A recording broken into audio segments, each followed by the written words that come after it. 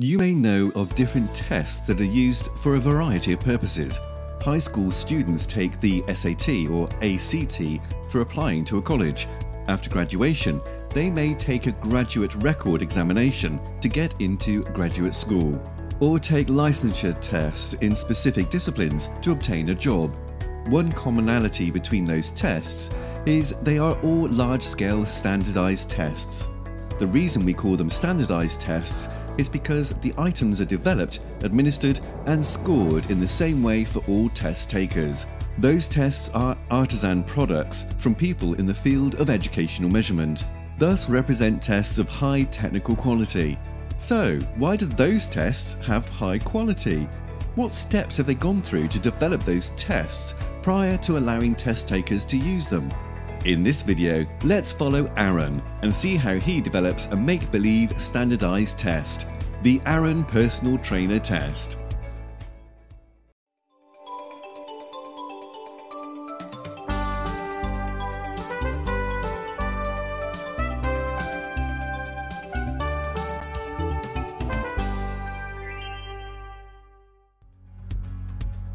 The gym planet is full of people with a strong passion to train in the gym, and many of them claim to be personal trainers who can help others get fit.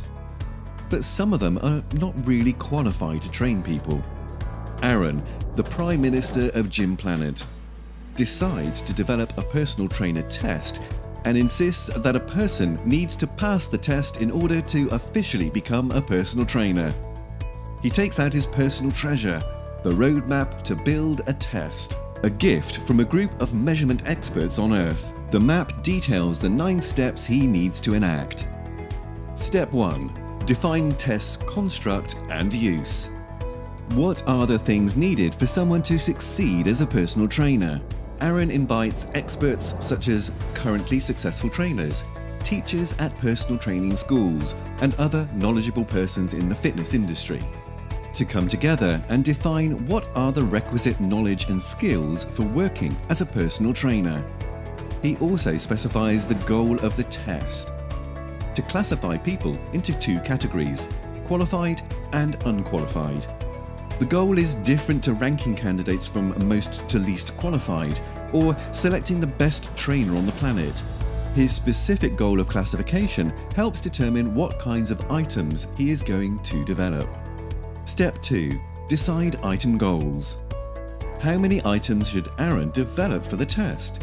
Are the items going to be traditional items, such as multiple choice items, or simulated tasks on the computer, where test takers given specific training guidance to simulated clients, or real client encounters, where candidates will be scored as they coach standardized clients in real life scenarios?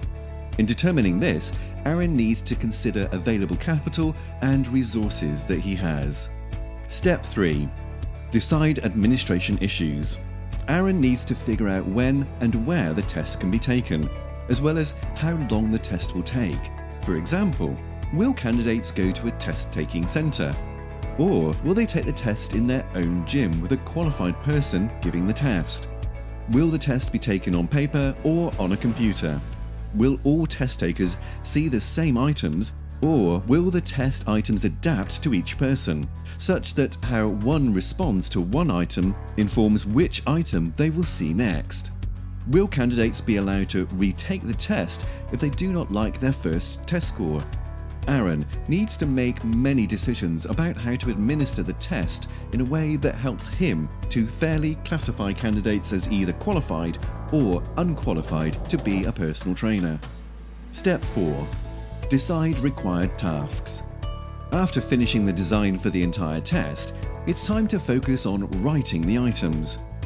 The first question Aaron asks is What specific observable behaviours are going to be assessed through the items?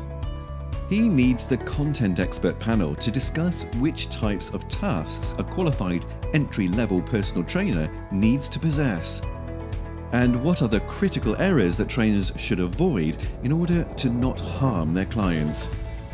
The ultimate product of this stage is a list of tasks that the items are going to be developed upon. Step 5 Develop a test blueprint. A test blueprint would include, for example, how many items are needed under each skill area and how much each item will count towards the final score.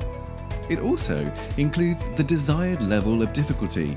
For example, questions asking about a definition such as what is an exercise plan are easier than questions asking about candidates to develop a sample exercise plan for a client with diabetes.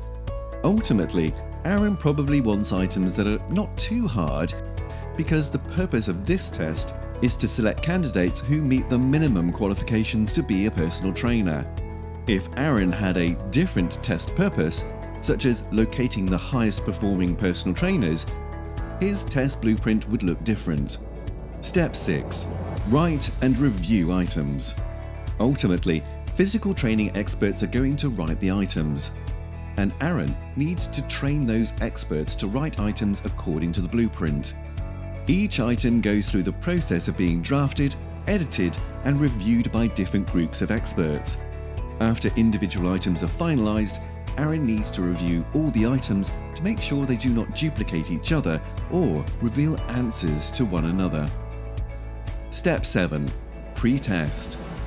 After items are reviewed and finalised, Aaron cannot directly put the items into the real test because he needs to make sure that items are not biased towards certain groups of examinees. The way to identify biased items is to pre test them with candidates. Pre testing can also help Aaron understand item characteristics, such as the difficulty of items, which can help determine which items should be assembled in one test form. Pre-testing is usually done through embedding pre-testing items in real tests.